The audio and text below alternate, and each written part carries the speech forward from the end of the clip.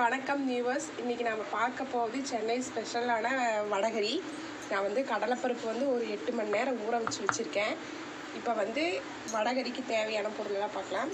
இப்போ வந்து ஃபஸ்ட்டு வந்து இந்த கடலைப்பருப்பு மிக்ஸி ஜாரில் ஊட்டலாம்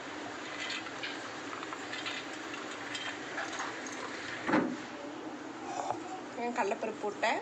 கொஞ்சம் வந்து முழுப்பருப்பு எடுத்து வச்சுருக்கேன். இதோட வந்து ஒரு மூணு பச்சை மிளகா ஒரு அஞ்சாறு பூண்டு கருவேப்பிலை. இதுக்கு வந்து வடகறிக்கு ரொம்ப முக்கியமான ஃபேவரே வந்து சோம்பு தாங்க அதாவது சோம்பு ஒரு ஸ்பூன் போட்டுக்கலாம். இதை வந்து வடைக்கு வடைப்பருப்புக்கு நம்ம எப்படி அரைப்போமோ அந்த இதுக்கு வந்து இதை நம்ம அரைச்சிக்கலாம். தேவையான அளவுக்கு உப்பு சேர்த்து வடை மாவு பருத்துக்கு நம்ம வந்து அரைச்சி ரெடி பண்ணிக்கலாம். பாருங்கள் வடை மாவு பதத்துக்கு வந்து அரைச்சாச்சு. நான் வந்து முழு பருப்பும் ஊற வச்சதும் கொஞ்சம் இதோட ஆட் பண்ணியிருக்கேன். இப்போ வந்து ஒரு கை வெங்காயம் இதோட சேர்த்து பிசைஞ்சு நாம் வந்து எண்ணெயில் போட்டு எடுத்துடலாம். வடை ஆட்டை போட்டு எடுக்கணுங்கிற அவசியம் இல்லைங்க. சின்ன சின்னதாக போட்டு எடுத்தால் போதும். ஒரு கை வெங்காயம் போட்டுக்கலாம்.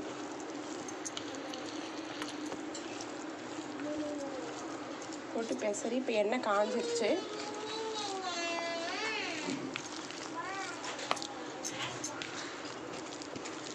இப்போ எண்ணெய் நல்லா காஞ்சிருக்கு. நம்ம வந்து வடையாக தட்டி போடணுன்ட்டு அவசியம் இல்லை. வடையாக போட்டாலும் நம்ம பிச்சு தான் போடணும். அதனால் நான் வந்து நம்ம போடுறப்பவே இப்படி சின்ன சின்னதாக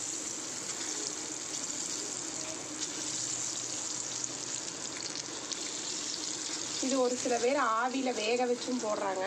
ஆனால் எண்ணெயில் பொரித்து போட்டோம்னா அதோடய டேஸ்ட் வந்து நல்லா இருக்குங்க. நல்ல மணமாகவும் இருக்கும்.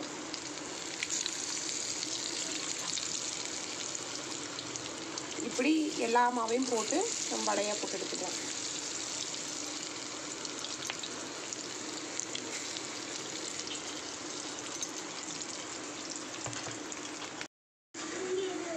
பாருங்க இந்த ஸ்டேஜில் நம்ம வந்து இதை எடுத்துடலாம். இப்படியே இருக்கிற மாவையெல்லாம் போட்டு வடையாக போட்டு எடுத்துடலாம். வடையெல்லாம் இப்படி போட்டு இந்த சைஸில் எல்லாம் போட்டு பொறிச்சு எடுத்து வச்சுங்க இது ஆரட்டும் இப்போ இப்போ இன்னொரு கடாயில் வந்து எண்ணெய் ஊற்றிருக்கேன் ஃபஸ்ட்டு வடகரிக்கு உண்டான ஃப்ளேவரே வந்து சோம்பு தாங்க. ஃபஸ்ட்டு சோம்பு போட்டு தாளிச்சிக்கலாம். சோம்பு போட்டுட்டு பிரிஞ்சி இலை பட்டை கிராம்பு ஏலக்காய் எல்லாம் போட்டுட்டேன் எல்லாத்தையும் போட்டுக்கலாம். போட்டுட்டு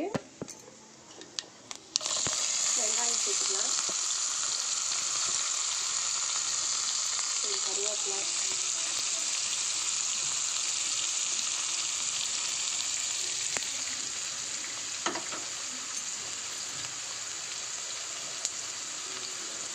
வெங்காயம் வதக்கிறப்பே நான் கொஞ்சம் லைட்டாக உப்பு சேர்த்துக்கிறேங்க.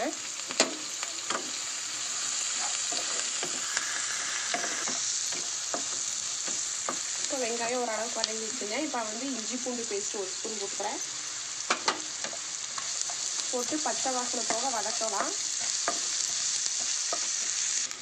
இப்போ நான் பொடியாக கட் பண்ணி வச்சுக்கிறேன் தக்காளி சேர்த்துக்கிறேன். தக்காளி நல்லா மசிகிற அளவுக்கு நல்லா வதக்கிக்கலாம்.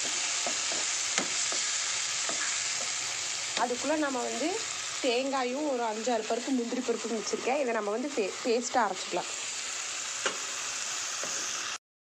இப்போ தக்காளி நல்லா வதங்கிடுச்சுங்க.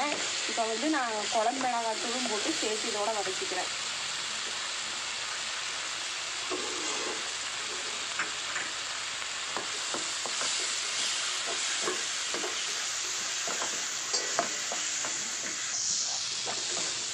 மிளகாத்தூளும் நல்லா வதக்கி வச்சுங்க. பச்சை வாசனை போக.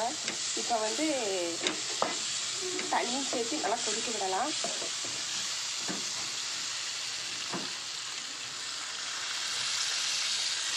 தண்ணி நிறையா விடுங்க. ஏன்னா நம்ம அதை போட்டோம்னா உங்களுக்கு வந்து வடைப்பருப்பு போட்டோம்னா தண்ணி நல்லா இஞ்சிடும் அதனால் குழம்பு வந்து கொஞ்சம் தண்ணியாட்ட தான் வேணும். முதல்ல வெங்காயம் வதங்குறதுக்கு உப்பு போட்டேன். இப்போ இதுக்கு தேவையான அளவு நம்ம உப்பு சேர்த்துக்கலாம்.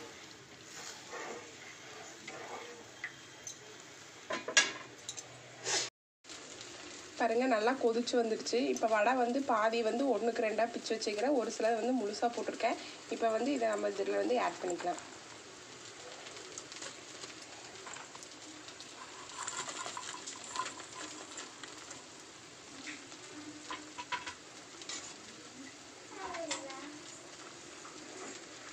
ஒரு கொதி நல்லா வரட்டுங்க. வந்ததுக்கப்புறம் நம்ம அரைச்சி வச்சுருந்த தேங்காயை வந்து இதோட ஆட் பண்ணி ஒரு கொதி வந்தோன்னே நம்ம அடுப்பாக பண்ணிடலாம்.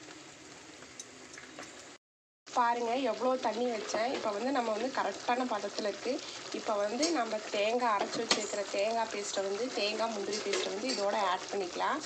ஆட் பண்ணிவிட்டு ரொம்ப நேரம் கொதிக்க வைக்க வேண்டாங்க.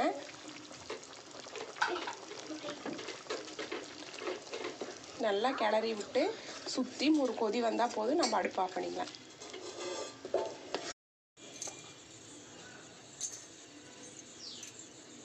பாருங்கள் நல்லா டேஸ்டியான வடகறி வந்து ரெடி ஆயிடுச்சு அதுக்கு வந்து நான் வந்து கல் தோசை வச்சுருக்கேன். இந்த தோசைக்கு சப்பாத்திக்கு எல்லாம் நல்லாயிருக்கும் ஆனால் வந்து மேக்ஸிமம் வந்து இந்த கல் தோசைக்கு தான் வந்து இந்த வடகறி வந்து செம டேஸ்டியாக இருக்குங்க. இந்த டிஷ் கண்டிப்பாக உங்களுக்கு பிடிச்சிருக்குன்னு நினைக்கிறேன். ட்ரை பண்ணி பாருங்கள்